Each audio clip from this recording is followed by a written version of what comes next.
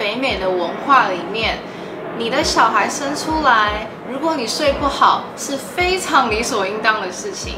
但是在法国，他会觉得你是个严重失衡的问题，你该要去看心理医生。科恩医生他有强调，如果父母需要维系生活品质的话，就不该为了孩子而完全的牺牲。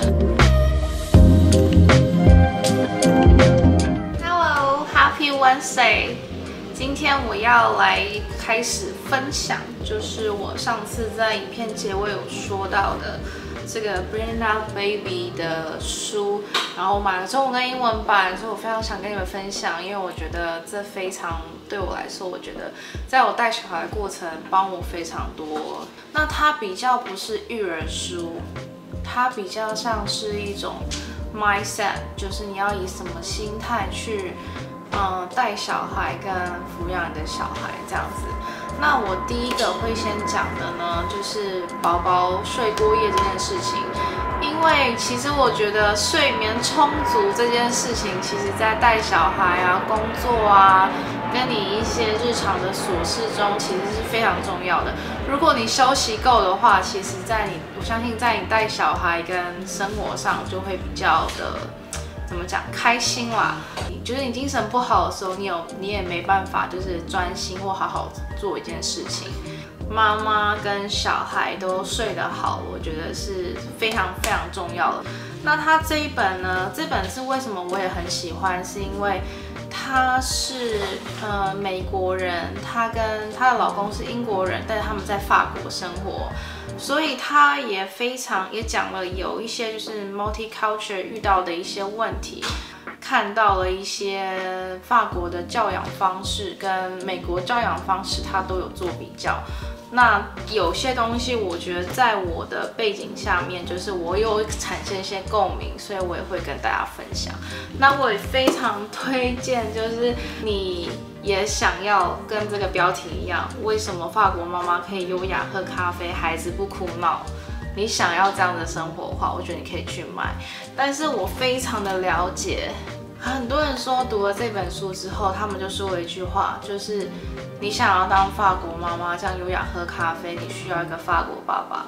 那这个 这件事情呢，我觉得非常说的非常对，就是你想要这样子。呃，养育小孩呢，其实另一半非常的重要。像他有没有依照你的理念，或者是你们两个人讨论出来理念，一起在统一上面去教养小孩，或者是你想要这样做的时候，你先生支不支持？其实这些真的都蛮重要的。就是如果没有这样的话，你也没有办法达成这些目标跟这件事情。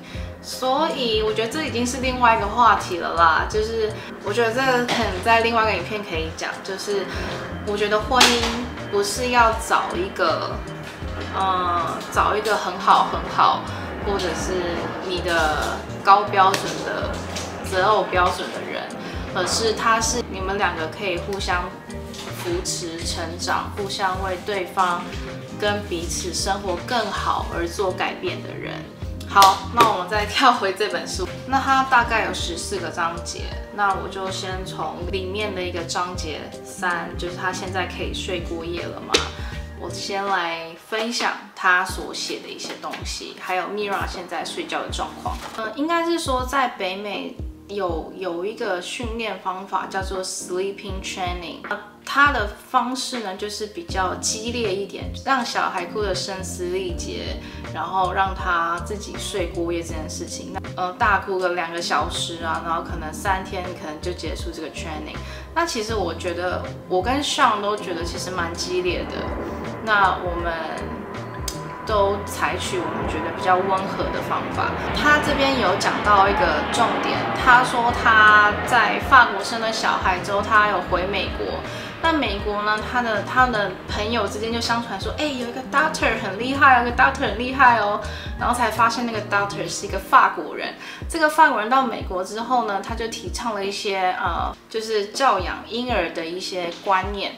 那他其中一个呢，就是呃，我们把婴儿就是当做成一个人一样来看待，就像是说，嗯。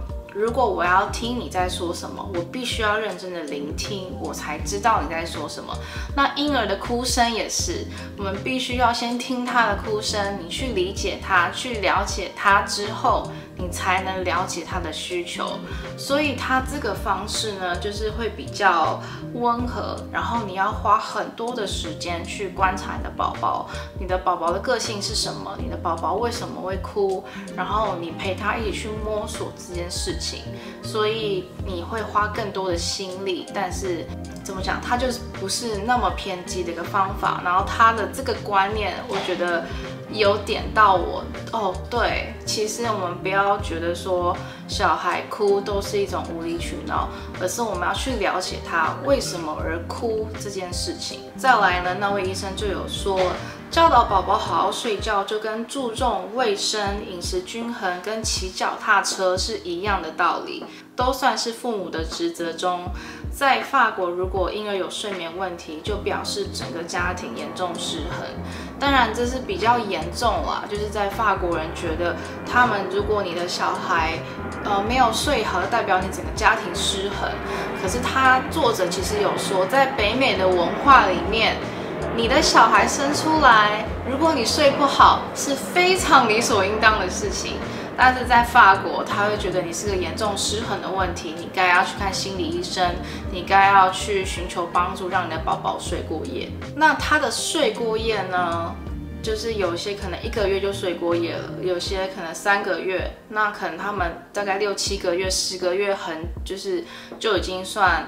比较晚才睡过夜了，所以他们的标准其实非常的前面，他们跟我们想的可能就比较不一样。因为我生小孩之前，其实我也没有想过这件事情，而我真的就是以我生小孩之后睡不饱，把它当成一个理所应当的事情，所以这也是一个观念的一个冲击，所以就变成说，哎，如果那个睡过夜的宝宝，就代表你很幸运啊，那就是你是不是要非常。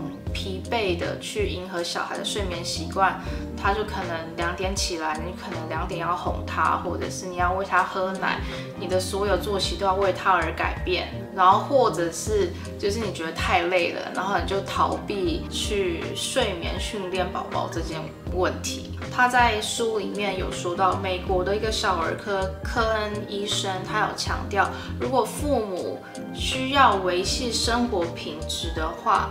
就不该为了孩子而完全的牺牲，所以在你做睡眠训练的时候，我觉得就是夫妻之间就是要先沟通一下，就是不该是为孩子而牺牲，而是为了。夫妻彼此之间的生活品质，当然也是小孩的生活品质。因为小孩如果睡得好呢，睡过夜，他起来之后精神会比较好，心情也会比较好的。他们就是在小孩哭的时候会去理解说，哎，小朋友为什么会哭？所以他们比较是不是那种哭了就不理会的那一种，而是会去，我觉得应该是说去相信，嗯，我的小孩理解我，因为。我现在开始要上班了，所以他选择他自己睡过夜，就是非常把婴儿当做一个人来看待，就是聆听他的哭声，然后，呃，他能够理解我，然后他可以做他自己人生的选择，就是你要以这个心态，你要调整这个心态之后再去做睡眠训练。作者就在分享一个，就是他的法国朋友说了一句话，就是。嗯，我没有做什么事情强迫我的小孩睡过夜，反正饿了就喂奶，其他他会自己调整。然后去相信所谓的感觉，觉得小孩懂了很多事情，就是你要 believe 他是一个个体。然后他会去懂这件事情，他会理解妈妈。我觉得这是一个非常非常有自信的一个状态啦，应该这样讲。然后他说了一句话，就是学习睡眠跟学习生活是一样的，就是睡眠跟生活，他们把它非常的紧密连连接在一起。他们在学习怎么睡眠的时候，就等于。怎么学习生活了？所以综合我上面所说的，我帮大家整理了大概有十条。第一条，观察孩子，并且按照孩子的节奏，并尊重他们的睡眠节奏。第二，一觉到天亮是自然而然的事情，就是你必须要有这个心态哦。他睡到天亮是自然而然的事情啊，而不再是我有小孩我睡不好是应该的事情，就是要把这个心态把它转换掉。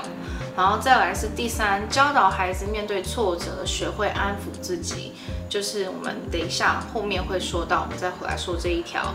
然后四是学会冷静。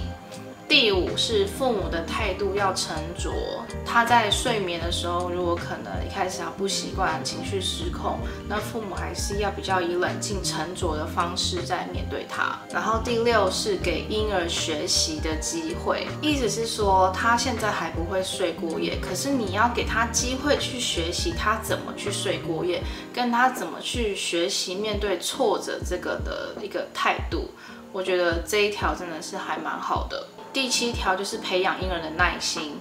那我觉得耐心这个东西应该是非常多父母会遇到的一件事情，就是很多可能呀，我后面会说到。然后第八是学会等待是教养的第一课，它其实就跟第七条差不多。那这就是一个教养的一个开始，就是他们把睡眠这件事情就放在教养里面了。然后再来是第九点，就是父母相信小孩一定做得到，就是你相信他，就像你相信一个人，他是一个个体一样。然后最后一点就是互相尊重，就是你尊重你的小孩，也让你的小孩尊重你，那就是把他当做一个人一个个体这样子。那观察孩子，按照孩子的节奏，并尊重他们睡眠是。这种具体的要怎么做呢？他就有提到，就是第一就是最重要就是不要哭了就冲过去。我觉得这个是非常有效的方法。就是 Mira 现在他练习一个人睡觉之后，他其实半夜还是会哭醒。那他哭醒之后，就是我们看会看一下 camera，他是不是呃有受伤啊，或是受到什么惊吓？如果不是，他还是。在睡眠的情况下的话，我们就不会去理他，就让他自己就是哭一哭再睡着这样子。他也会学会安抚自己，哦，我再睡回去这样子。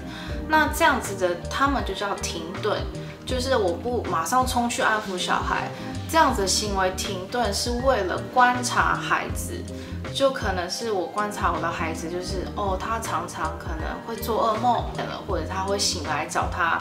呃，喜欢的玩偶之类的，我觉得这些都是可以观察的。而且，我觉得他说到一点，我觉得还蛮好的，就是如果父母太过神经质的话，孩子就会一直习惯醒来。作者他有说到他的经验，就是他的小孩一直都在两点起来，然后一定要喂奶。那他他跟他的老公其实一直都很累，因为他们都是。要上班的这样子，所以他们一直长久以来都睡不好。但他们知道了这个方法之后，他们就起来，然后观察孩子，其实没有危险，然后让他自己去入睡，然后慢慢的，其实他就自己入睡了。然后就在那个晚上，他才知道原来他的小孩都是为了他醒来的，因为他的小孩知道，哦，因为这个时间点我妈妈要进来了，所以我就哭了。他也有可能是这样子的感觉，所以。呃，有些事情其实是父母培养孩子而发生的。那再来一个一个观念，就是其实宝宝睡觉就跟我们自己睡觉一样。其实有时候我们会半夜起来上厕所，或者是半夜就是突然被呃噩梦吓醒。或者是呢，就是我半夜就突然醒来，也没有为什么。其实宝宝也是一样，然后或者是就是会翻来覆去啊，就是可能睡的时候就会翻来翻去。其实这都是正常的，让他自己去睡，跟安抚自己。如果你就是给他中断了，他可能就是要再重新的。入眠一次，因为这个就是跟我等一下会说到的睡眠周期有关系。他有说到，就是婴儿的睡眠周期大概是两个小时，所以他们正在学习的就是把睡眠周期连接连接起来。那他一个晚上可能要睡十到十个小时，那他两个小时他就练习把这两个两个两个小时连接起来。那如果你去中断它的话，它可能就没有这个能力可以把它衔接起来。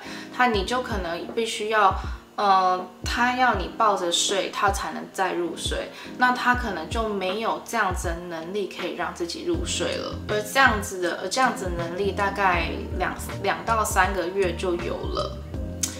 我觉得这个真的我真的不知道，因为我也不是医生。但如果医生这样子说的话，我们就这样相信好了。然后他们每两个小时一次的这样成功入睡呢，他们每下一次入睡就会更好。那就变成说，他的意思是说，成人也会有这样子，只是因为我们的训练已经非常多年了，所以我们已经自己不会去察觉这件事情了，所以也要让小孩，让他自己有机会去训练自己，该这样讲。那他有一个是说，很多小孩的需求都是父母培养起来的，我觉得这个说的真的非常对，其实真的。我现在才了解到，说其实非常多的事情都是父母想要去做，而不是真的小孩需要。所以应该是说，他们那样的比较法国式的睡眠训练的话，就不是一直就是让小孩哭，而是每一次都跟他好好的说。就例如说，在睡眠之前就说，嗯，我们现在要睡觉喽。那妈妈会在陪你一下之后，我就会出去了，你就必须要自己睡觉。那这是你的房间，这是你的家，那你你会在自己的床上入睡，那你就要自己学会睡觉，这样子。就是你要把你离开跟他，这是他自己的空间这件事情跟他说，每天都跟他说。然后他们的医生是建议说，这样的训练最好在四个月前就完成，如果四个月之后做，可能就会比较辛苦。那当然我没有实行这样子的事情，所以我我也不能说。但是其实我现在也有用这些方法，说真的，真的比较难。那。Mira 的睡眠，我之后会再做影片分享，这样子。